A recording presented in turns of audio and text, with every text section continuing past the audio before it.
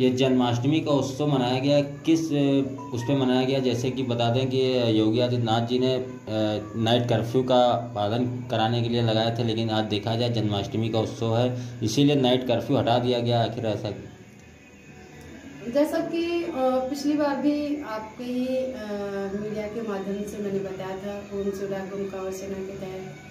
ठीक उसी तरीके से पहले तो माननीय मुख्यमंत्री जी का बहुत बहुत धन्यवाद, आभार और कृष्ण जन्माष्टमी की बहुत बहुत बधाई समस्त मीडिया बंधुओं को और समस्त देशवासियों को।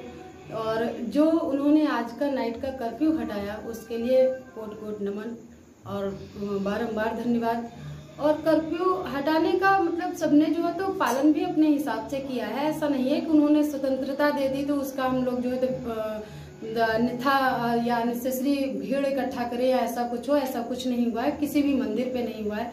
क्योंकि सुनने में यह आ रहा है विद्वानों के द्वारा कि आठ साल, नौ साल बाद ऐसी घड़ी और ऐसी तिथि हम लोगों को मिली है कि कृष्ण जन्म महोत्सव जो जैसा कि इस बार मनाया गया है, ठीक आठ, नौ साल पहले ये घड़ी, यही शायद, यही तिथि सब मिली थी सनातन धर्म के मुताबिक।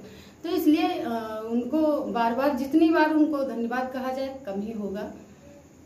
ये मंदिर का क्या नाम है और किस मंदिर में बनाया गया है? ये प्रभातपुरम मोहल्ला सीतापुर रोड, मड़ियाव थाने के जस्ट पीछे में है। मंदिर का नाम नीलकंठेश्वर महादेव मंदिर है।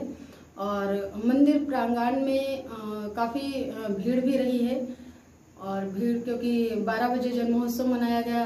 जन्मोत्सव के बाद में भगवान श्री कृष्ण को मिश्री माखन का भोग, आरती, तमाम अनेक अनेक जैसे हमारे जो सनातनी कार्यक्रम होते हैं, वह सारे कार्यक्रम हुए।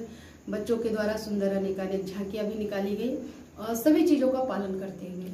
कब से मनाया जा रहा है और ये हमारे यहाँ पे नीलकंठेश्वर महादेव मंदिर पे सात साल हो गया ये सातवां जन्मोत्सव था भगवान श्री कृष्ण का। और तमाम अन्य लोगों के साथ में